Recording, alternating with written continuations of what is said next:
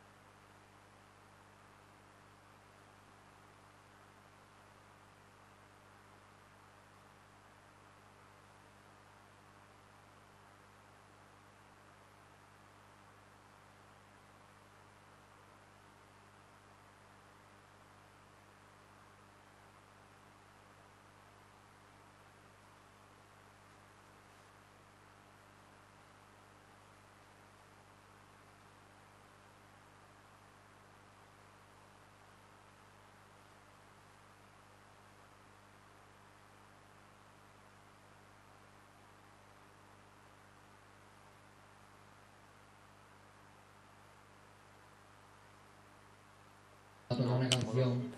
Se la vamos a dedicar a los familiares también de las personas que están al lado de, de personas que están enfermas, que también ellos se llevan algo de, No me fío ni un pelo. de parte Para- también mal.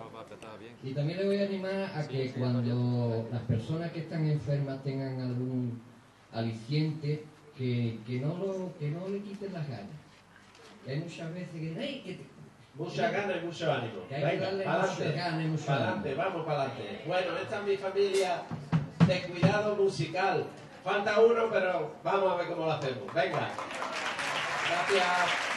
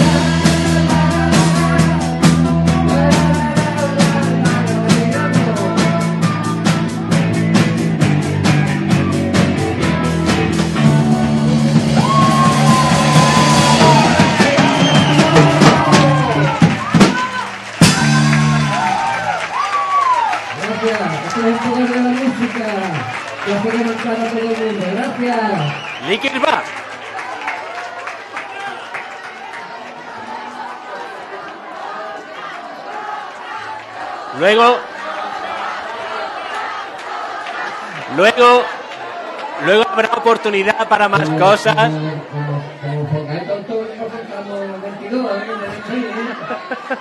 Yo lo que diga a la organización, nosotros nos han dicho una y nosotros tocamos una. Así. Si hay que cantar, Vamos. hasta las 6 de la mañana, vamos, que nosotros no tenemos problema.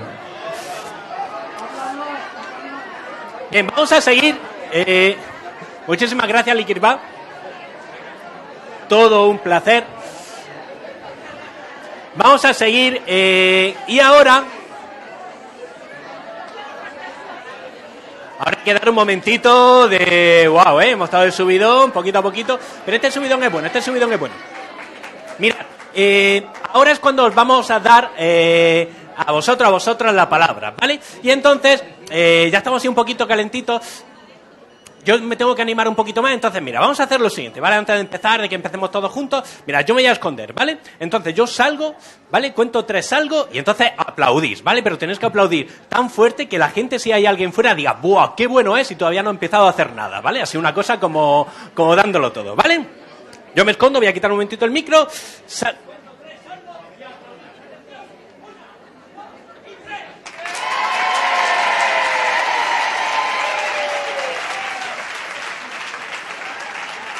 Gracias. Gracias, gracias. No ha estado mal, ¿eh? Eh, No ha estado mal, he de admitir que ha estado muy bien. Pero podría estar un poquito mejor. Pensad Pensad que el aplauso tiene que durar entre 10 y 15 minutos. Minuto más, minuto menos, no hay que ser exactos tampoco, ¿vale? Entonces, mira, lo vamos a repetir. Eh, lo vamos a hacer como un poquito más, más festivo. Mirad, yo me escondo, ¿vale? Y esta vez, cuando salga, aparte de, los gritos, hay gente, apa- aparte del aplauso, hay gente que lo ha hecho, pues admiten los gritos, los silbidos, el típico ¡Guapo! ¡Guapo! Como lo sintáis, ¿vale? Si, si os viene de dentro, no lo reprimáis, soltadlo, ¿vale? Y aparte, aparte de todo eso, eh, tengo eh, una cosa para que me lancéis, eh, a lo que estoy acostumbrado, entonces os lo voy a dar, esto va a ser mucho más participativo. Tengo una cosa para que me lancéis.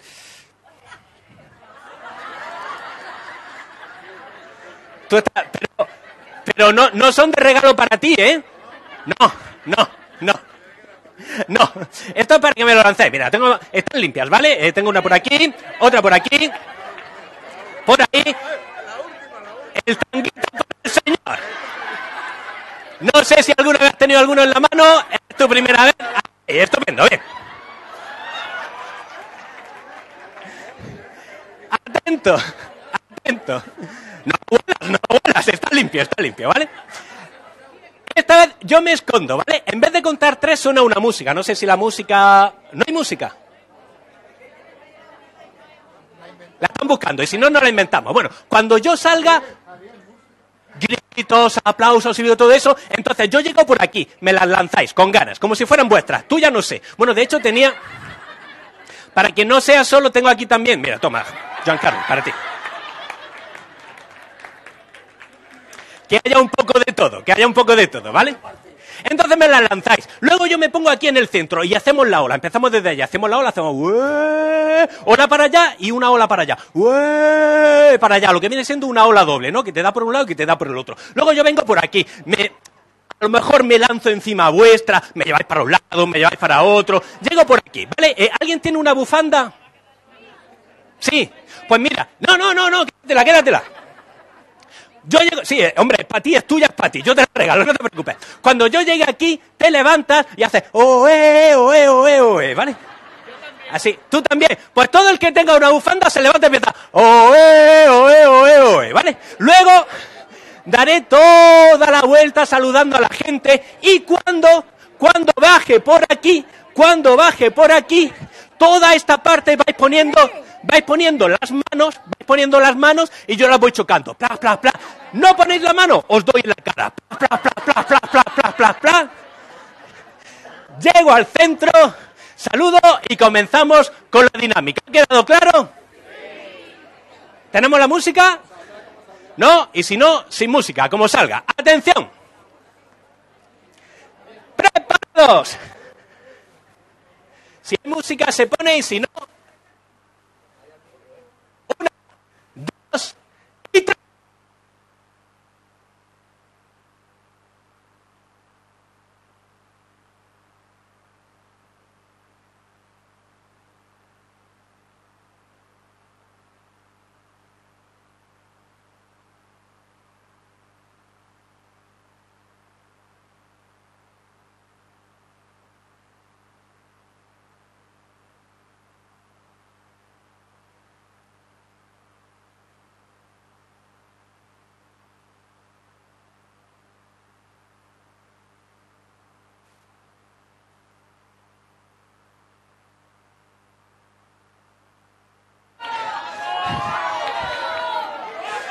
Ya es Ya es tarde, tuviste tu momento. Ay, ¿no estáis cansados, cansadas? Un poquito. Bien. Bien, eh, como decía al comienzo, ahora que ya estamos así calientes para darlo todo, eh, este, es el este es vuestro momento, ¿vale? Aquí es donde vamos a dar la voz a todas las familias de cuidado. Eh, lógicamente hay un tiempo, ¿vale? Entonces tenemos que respetar también los tiempos, porque si no vamos arrastrando. Ay, por favor. Bien. En fin, lo gracioso es que tenía el tapón, no me he echado nada, pero bueno, en fin. El caso. El caso, vamos a ir eh, hablando. eh, habéis mandado, hay gente que ha mandado, ha mandado vídeos, veremos algunos, algunas fotitos, ¿vale? Y entonces queremos que nos contéis, hemos tenido antes a cinco personas que nos han contado, queremos que nos contéis cómo son vuestras familias de cuidado, ¿vale? Eh, entonces, yo imagino que estáis deseando de hablar. No, ¿no? aquí, aquí es cuando se aprietan los culos, ¿no? Tengo el culo apretado, no hago un efecto ventosa y entonces de aquí nadie me saca, ¿no? Eh, si no, eh, primero, eh, mira, lo, primero que vamos a hacer, vamos a ver un, un pequeño vídeo, uno de los vídeos, ¿vale? Y entonces sirve para romper el hielo y entonces de ahí, poco a poco, nos vamos enganchando y esto acaba en una salvajada de, de palabras y amor. Así que el vídeo cuando quieras.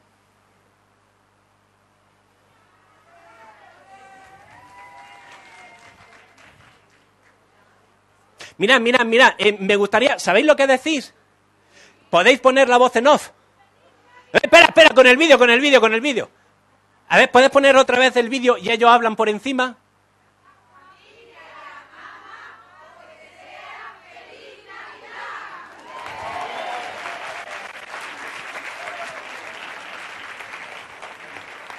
Ni preparado, ni preparado. Ay, bueno, pero eso ya daba igual. Eh, mira, me voy a acercar por aquí.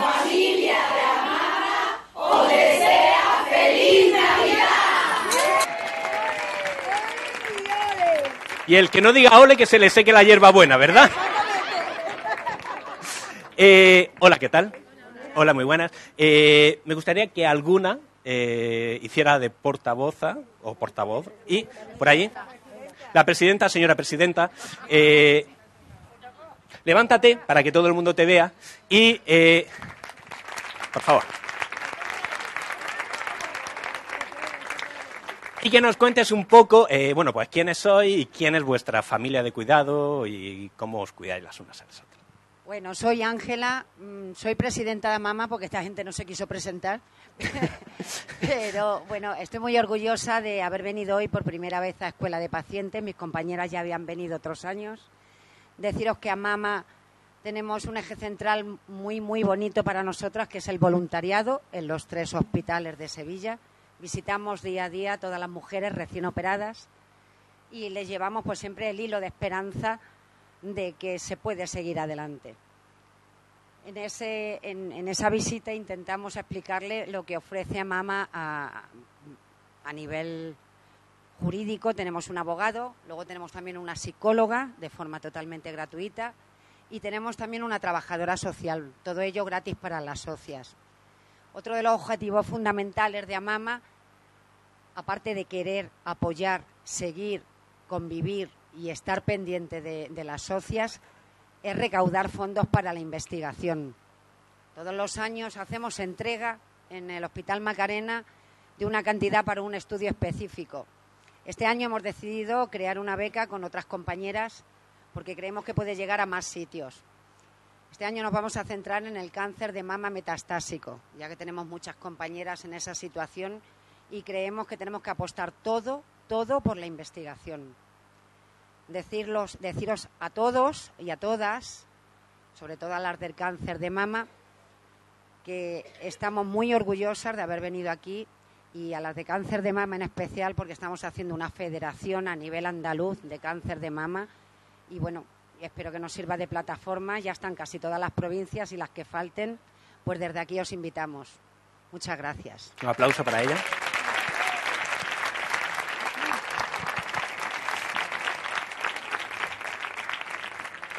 ¿Tú quieres hablar? ¿Sí? Pues mira, no, no voy a ser yo quien te corte. Hola, ¿qué tal? ¿Cómo te llamas? Hola, ¿qué tal? Me llamo Silvia. Cuéntanos, Silvia. Eh, bueno, mi nombre es Silvia, soy la presidenta de la Asociación Quistes de Tarlot de España. Mi enfermedad es una enfermedad rara, eh, son quistes en médula espinal. Estos quistes comprimen todas las raíces nerviosas de donde están situados. En mi caso, pues convives con una lumbalgia, una ciatalgia, pérdida de control de esfínteres, eh, no puedo ir ya al baño por mí misma, tengo que usar enemas. Y la cuestión es que la comunidad médica no cree que esta enfermedad dé ningún síntoma. Entonces nuestra lucha es cada día por levantarnos y seguir adelante y por hacer visible eh, nuestra enfermedad. Eh, hablábamos de redes, para nosotros hemos visto un camino abierto en redes sociales eh, donde estamos consiguiendo que tanto médicos como asociaciones como FF Pacientes, Tu Vida Sin Dolor, eh, Escuela de Pacientes con Joan, que tuve el placer de que, de que me entrevistara, crean en nosotros y a día de hoy eh, pues la asociación nos estamos moviendo por muchos eventos y se nos está planteando ya una investigación para esta enfermedad. Eh, en el último registro de Juan Carlos III, el registro de enfermedades raras de aquí de España, éramos 244 personas diagnosticadas de esta enfermedad. Entonces, pues eh, es algo que no interesa, como en muchas otras enfermedades, como en la que tiene el hijo de, de mi amiga Cristina, de mi amiga María, perdón. Y sí quería acabar diciendo que doy gracias cada día por tener esta enfermedad, por todo lo que me ha aportado, porque he aprendido muchísimo de ella, eh, porque disfruto cada segundo de mi vida y porque yo tengo también una familia, una familia única, eh, que son unos girasoles, girasoles enfermos como yo, son mis compañeros de, quistes de Tarló. Y todos sabemos que los días que hace sol, los girasoles eh, están frente al sol. Pero los días nublados, la gente no sabe que los girasoles se miran unos a otros, dándose apoyo. Eh, pues con eso me quiero quedar, con que los días nublados tenemos el apoyo entre nosotros, en el apoyo en estas plataformas eh, digitales de muchísima gente y, y que no estamos solos y seguiremos luchando por dar visibilidad a esta enfermedad que nadie conoce. Muchísimas gracias y enhorabuena.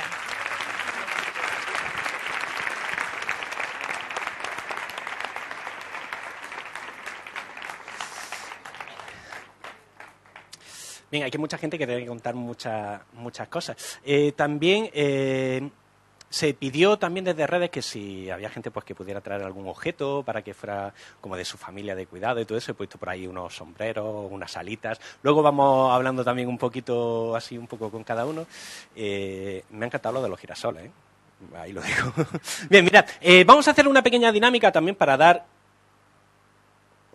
una pelota. Mirad, eh, yo voy a lanzar la pelota, va a sonar una música, ¿vale? Entonces, mientras va sonando la música, vosotros vais lanzando la pelota de un lado para otro.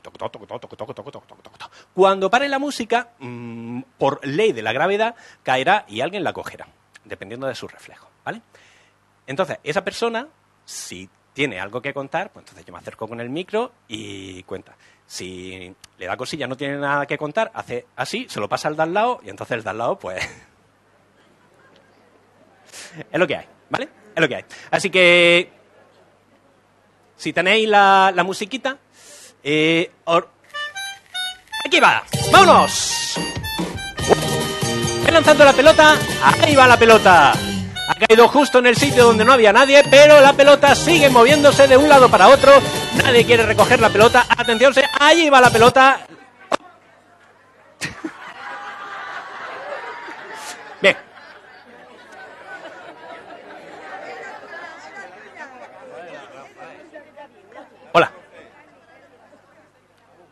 Vamos a hablar, ¿no? Vamos a hablar.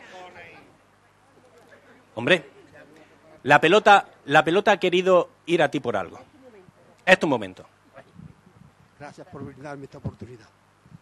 Bien, soy Rafael Martínez. Soy, Pégate, pégate el micro. soy Rafael Martínez Fernández, soy el presidente de la Asociación Cordobesa de Pacientes Anticoagulados. Habría, eh, no, no sé si se le puede dar más volumen o algo, no se escucha. A ver, dámelo. A ver. A ver, mira. Ahora sí, ¿verdad? Bueno, Vale. empiezo de nuevo. Gracias por brindarme esta oportunidad a través de la pelota. Soy Rafael Martínez Fernández, soy el presidente de la, Asoci- de la Asociación Cordobesa de Pacientes Anticoagulados. Le explico lo que es estar anticoagulado. Somos personas que por diferentes patologías, nosotros nos une un fármaco, que por diferentes patologías estamos sujetos a un tratamiento de el anticoagulación. Bájate el micro durante 70 años hemos estado tomando Sintrón. Hoy hay cuatro fármacos nuevos que son mucho más fiables, con mucha mejor calidad de vida y demás. Pero quiero hacer un llamamiento porque parece ser que el tomar el Sintrón es como si tomara una aspirina para las personas que no conocen el fármaco y la patología del que lo, del que lo tiene que tomar. Somos personas que somos los que más muertos ponemos encima de la, administración porque la mayoría somos cardiópatas y tenemos la desgracia de que hoy estás hablando con un compañero y mañana te llama la mujer de que se ha muerto a las 6 de la mañana, como pasó este, este jueves pasado con un compañero mío de mi junta directiva. O sea, quiero decir con esto que aunque seamos personas que a simple, simple, a simple vista, lo único es que tomamos Sintrón, no es eso. La gravedad es que tenemos una espada de Damocles encima nuestra que nos lleva para adelante en cualquier momento sin esperarlo. Es una enfermedad silenciosa y traicionera que no avisa cuándo nos va a llevar y quiero hacer un llamamiento que se le dé la importancia que tiene a las personas anticoaguladas. O sea, que, que no es que tomemos un- una, pastilla como la aspirina o, o el omeprazol o cualquier cosa de esa. Es que es nuestro salvavidas y es nuestra guía. Además, quiero decir que gracias a la Escuela de Pacientes yo soy formador de su- insuficiencia cardíaca y de fibrilación auricular. Y, no, quería decir, no, quiero decir más, solamente eso, que se tenga en cuenta que, eh, no tenemos una enfermedad grave, no tenemos una alarma social como la del cáncer, por ejemplo, pero sí tenemos la desgracia de que somos los que más nos morimos y los que más muertos ponemos encima de la administración. Nada más, muchas gracias.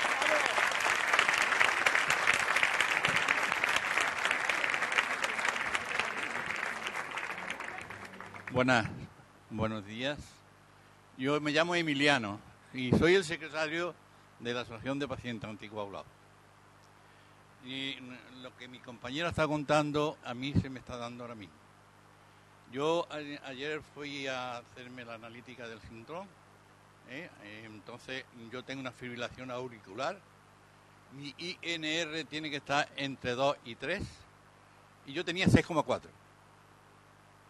O sea que son tres veces más de harto de lo que yo tengo que tener.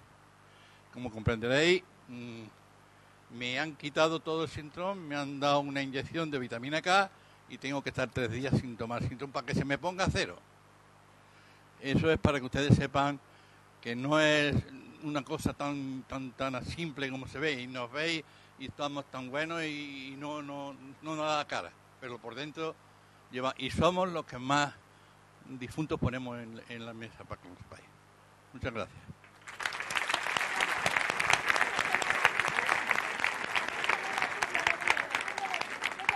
¿A quién? ¿A la rubia? ¿A ti? ¿Hoy? ¿A ella? Esta rubia. Te tocó. Hombre, bueno, ahora mismo te ha caído. Intentemos no lanzar la pelota. no, sí, sí, sí. Cuéntanos. Hola a todos. Buenas tardes. Que me da corte. Bueno, mm, yo soy Encarnita Sarria, represento a la asociación, soy presidenta de la Asociación Cordobesa de Fibromialgia y síndrome de fatiga crónica. Me consta que aquí estamos muchas personas a las que estamos representando de este colectivo y de esta patología. Eh, bueno, yo quiero deciros y compartir que por circunstancias, por problemas de enfermedad, he estado años un poquito parada en toda la línea de la impartición de escuela, de, taller y demás, pero formo parte de la escuela de, salud pública en talleres, en expertos de, de pacientes, perdón, desde el año 2008. Nosotros, a través de la Federación Andaluza, formamos todas las representantes de todas las provincias de Andalucía, se creó el blog de fibromialgia, hemos estado participando de forma muy activa, de hecho el resto de provincias, me consta Jaén y otras provincias, Granada y otras muchas provincias, están participando activamente, nosotros hemos estado muchísimos años, y deciros que es algo tan grande y tan bonito lo que hemos vivido a través de la Escuela de Salud Pública, la experiencia que hemos tenido, a la cantidad de personas que hemos conocido y sobre todo los grupos que se han creado, la formación que se ha impartido. Y en esa línea es la que actuamos desde nuestro colectivo, desde nuestra Asociación de Córdoba. Estamos trabajando en la línea de información, de formación, de atención, de servicios tanto a nivel nutricional, educacional, de rehabilitación, de atención psicológica. Y compartiros, por último, que hay algo muy bonito que empezamos a trabajar. Se empezó a través de la escuela de pacientes, pero nosotros, aún sin impartir estos dos años, como he dicho, por circunstancias que retomamos en el 2020, no hemos continuado, pero sí hemos seguido la línea de actuación. Estamos desarrollando un proyecto de acompañamiento personal en colaboración con ayuntamientos, hospitales, centros, centros de salud, centros cívicos, centros de mayores, donde bueno, pues se está trabajando una línea de formación y de acompañamiento a todos los niveles, donde los profesionales de tanto de estos centros, como estoy diciendo, como de la asociación, estamos haciendo una selección, todo, todo muy trabajado, eh, ya os digo, a través de entrevistas de una selección de personas afectadas que tienen todos los problemas que estamos aquí presentando todos prácticamente, y cada uno en su línea, en su patología, y se está haciendo un acompañamiento personal muy bonito, muy importante, de tal manera que el ayuntamiento se ha querido implicar, servicios sociales se ha querido implicar, la Junta de Andalucía, y no lo están subvencionando desde hace ya tres años, y estamos dando una cobertura, no os podéis imaginar, de bonitas. Y ahí sí que estamos metiendo la formación dentro de la línea de formación, aparte de otros aspectos como es a nivel jurídico, a nivel psicológico, que se le está ayudando, tanto a, parejas como a individuales, ahí sí que estamos metiendo la enseñanza de la escuela de pacientes. Entonces, bueno, quería compartirlo con vosotros porque es algo, una experiencia muy bonita que estamos viviendo y que realmente es algo que, hago extensible a todos mis compañeros de fibromialgia y síndrome de fatiga crónica que están por aquí y que sé que cada una estamos trabajando más o menos en esa línea. Muchas gracias.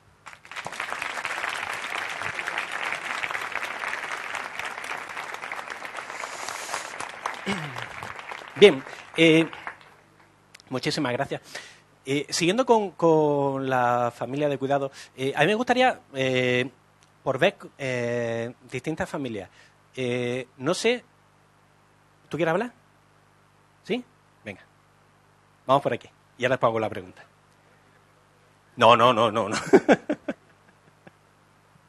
Hola, yo soy María José Zurita. Aquí vengo como paciente, como socia de Aluja, de Jaén, que tengo por ahí algunas compañeras también en representación. Y yo, sobre todo, me he sentido identificada con las situaciones que han comentado por aquí las compañeras, porque son enfermedades muy distintas. Pero yo quiero aprovechar este momento que nos juntamos aquí y que muchos tenemos el mismo problema para que os acordáis de que este mes de diciembre se ha presentado el símbolo de Disorganic, que es el símbolo internacional de la discapacidad orgánica, que es algo que tenemos todos en común porque tendemos a pensar que una persona discapacitada es una persona que está en silla de ruedas, que no puede andar, pero resulta que cada uno de nosotros, nuestra enfermedad, en nuestra vida laboral, personal y autónoma, tenemos dificultades al día a día y eso no se ve. Entonces no está reconocido. Y nos hemos propuesto el logro de dar visibilidad a lo invisible, de que la sociedad conozca que hay muchas discapacidades que no se ven a simple vista, pero que también tenemos fatiga, tenemos cansancio. En nuestra vida laboral no hay una diferencia entre yo que tengo dos brazos, dos piernas y un cuerpo a un compañero mío que está completamente sano, pero sí la hay en el fondo, porque sus limitaciones no son las mías. Entonces, pues me gustaría aprovechar la suerte de haber participado hoy aquí como primera vez en la Escuela de Pacientes y sobre todo, pues recordaros que he visto en el stand de Lupus de Almería, he visto que está disorgánico y me ha encantado verlo. porque me gustaría que fuera tan conocido como el símbolo de la discapacidad que tenemos ahora mismo, que es mundial y que nos hace tanta falta para que se nos reconozca lo que no se ve. Muchísimas gracias.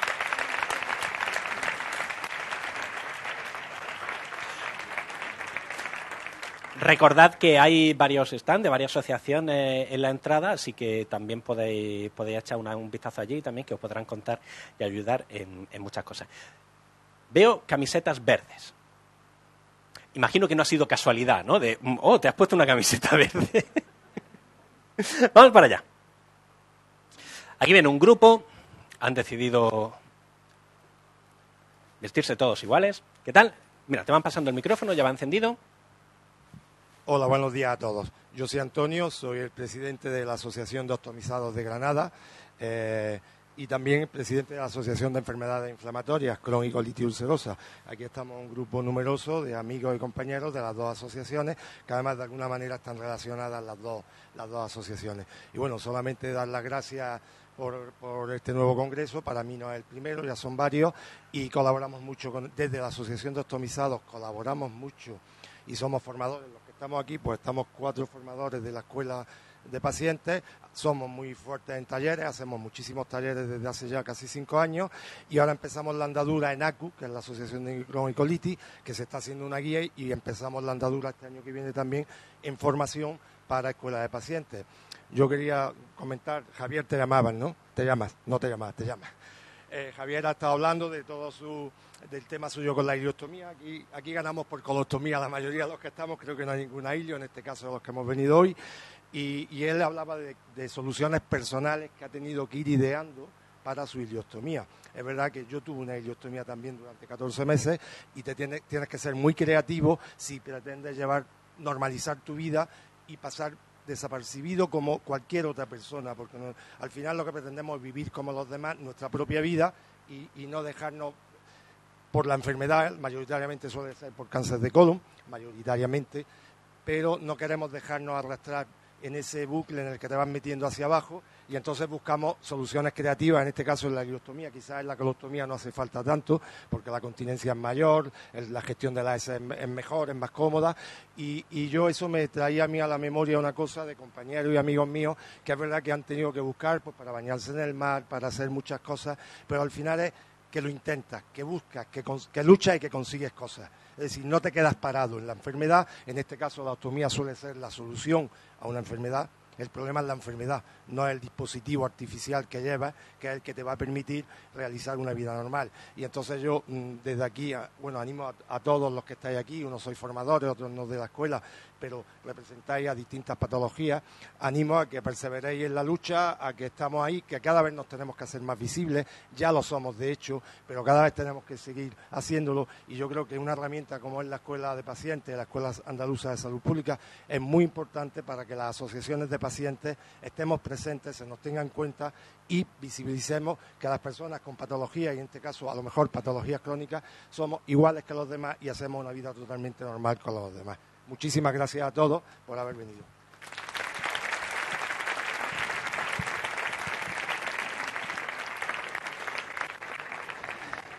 La, creatividad como herramienta. Eh, yo tengo un amigo que dice que, no, o sea, que, que, la creatividad no tiene que quedarse ahí, que se tiene que transformar en creatividad. O sea, que no es solo pensar, sino también hay que hacer. O sea, al final, ¿qué hay que hacer? Eh, tenemos muchos más vídeos, así que Vamos a ver un siguiente vídeo de los que habéis ido mandando en las redes sociales. A ver no te nadie.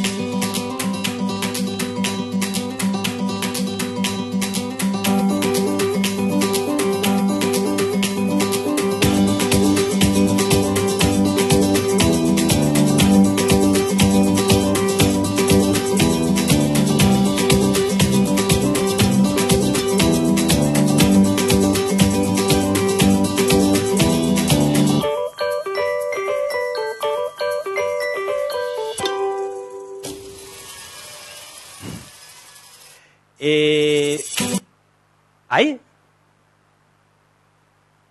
Hola, ¿qué tal? Un aplauso, sí, sí, no os cortéis, no os cortéis.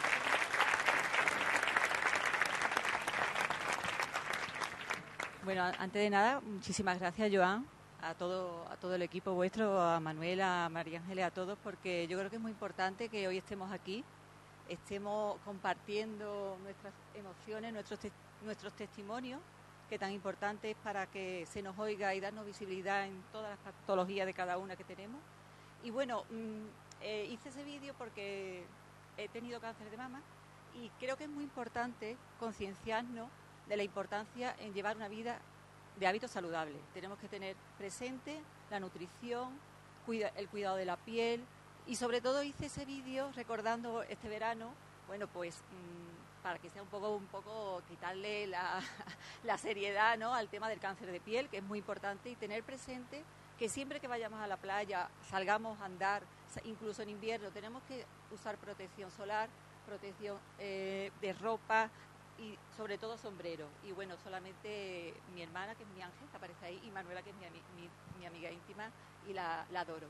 Y, bueno, felicitaros nuevamente a todos, a todos y cada uno de vosotros que estáis aquí, porque yo creo que entre todos podemos hacer cosas muy importantes. Gracias. Muchísimas gracias.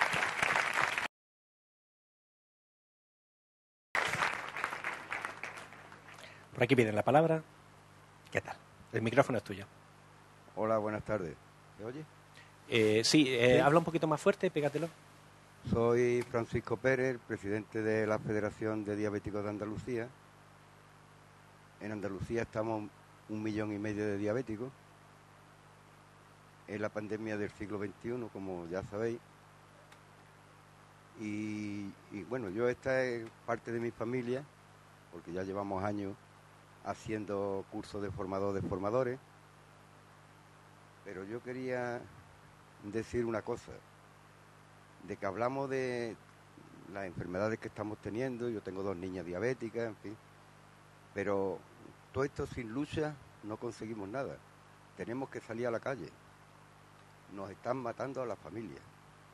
En Andalucía se cortan todos los años 1.500 pies. 1.500 cojos que meten en nuestras casas. 1.500 dramas un poquito más. ¿Me la acerco más? Ahí, ahí, ahí, ahí. Bueno, que digo que meten 1.500 dramas nada más que en amputaciones en Andalucía. Dramas que se pueden evitar en el 90%. Tenemos que obligarle a estos políticos a que nos curen, nos pongan el tratamiento adecuado en tiempo y forma.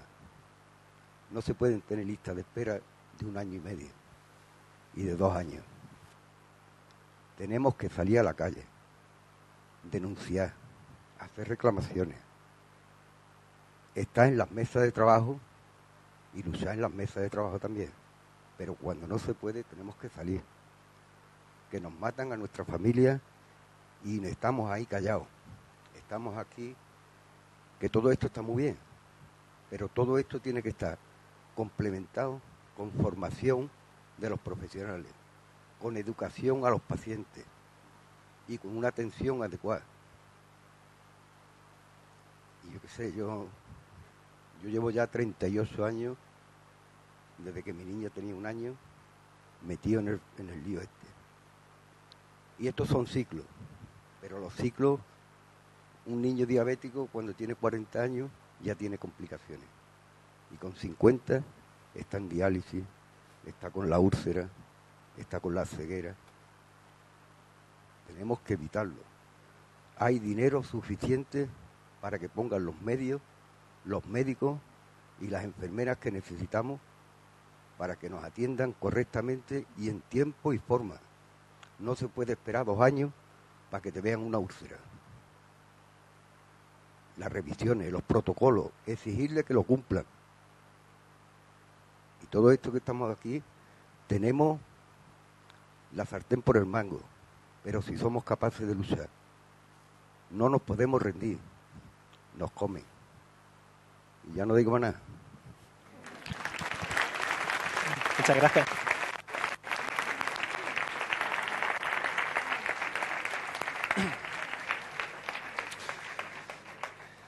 Mira, voy a venir por aquí.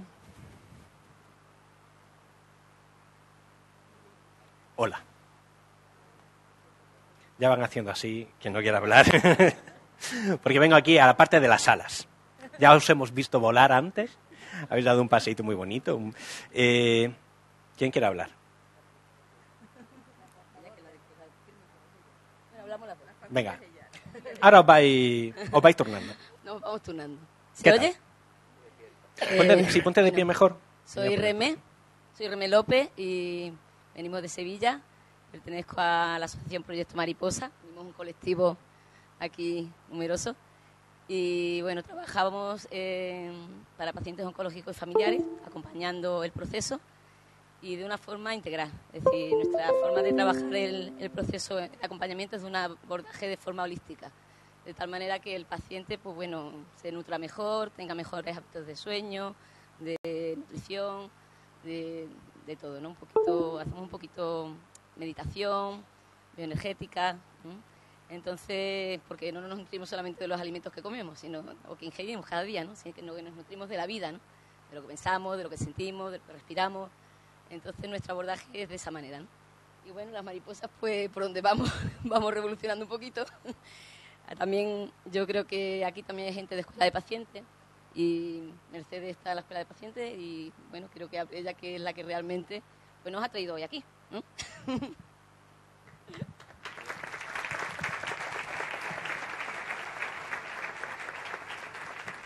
buenos días o ya buenas tardes.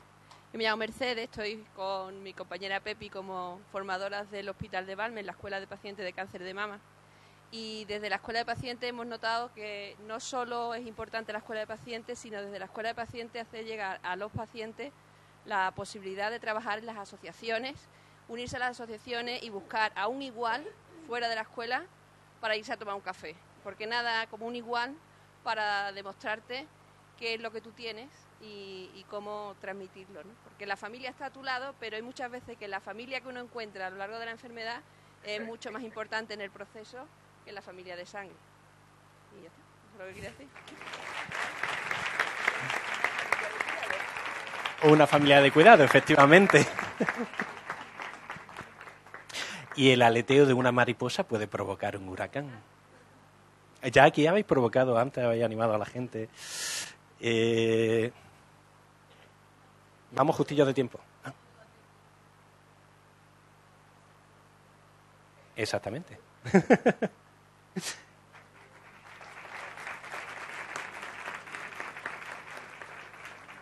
Me vienen por aquí y... Hola, ¿qué tal? Hola, buenas tardes. Yo me llamo Rafi, pertenezco a la Asociación de Laris Camisado, que es mi marido, como aquí muchos compañeros.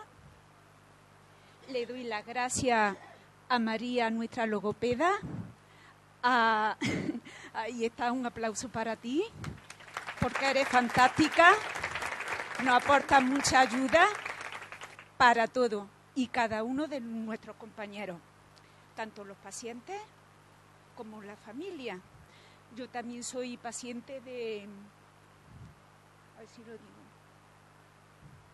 de fibromialgia, pero yo no me doy importancia, ninguna, porque quien me la da a mí es mi marido, como todos sus compañeros, porque cada paciente de cada, de cada patología nos enseña lo que es la vida. No te fijas en la tuya propia, sino en la fuerza que ellos te dan.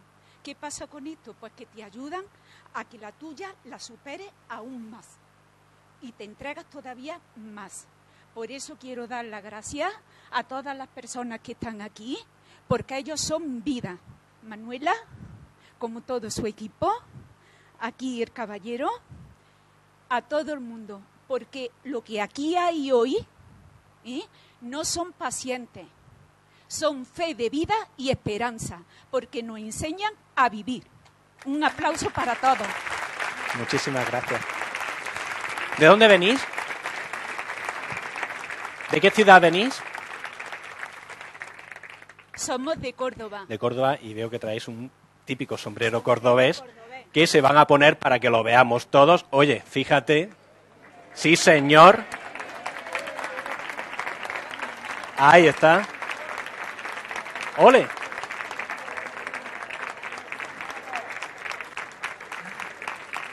Muchísimas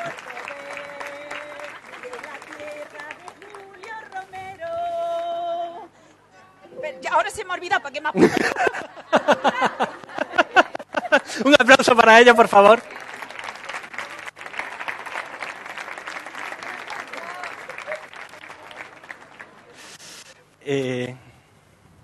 Mirad, eh, sé que hay muchas más historias que posiblemente hay gente que se quede con ganas de hablar.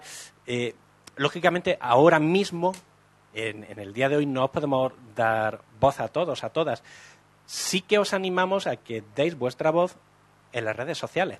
O sea que si alguien se ha quedado con algo que, que quiere contar, eh, a través de las redes sociales, eh, el hashtag Una Familia de Cuidado, a través de, lo hemos visto antes, FF Pacientes, podéis decir todo lo que se os ha quedado dentro. O sea que también, como hemos visto antes con, María, si, si alguien quiere decir algo, de verdad, os invitamos a que estén en las redes sociales. Sentimos mucho que no podamos dar voz a, a, todas las personas porque hay un tiempo, si no podremos estar toda la mañana. Y el Congreso tiene más actividades y tenemos que seguir. Así que eh, yo, de verdad, eh, antes habéis dado un aplauso cuando he salido, ahora yo os doy el aplauso a vosotros.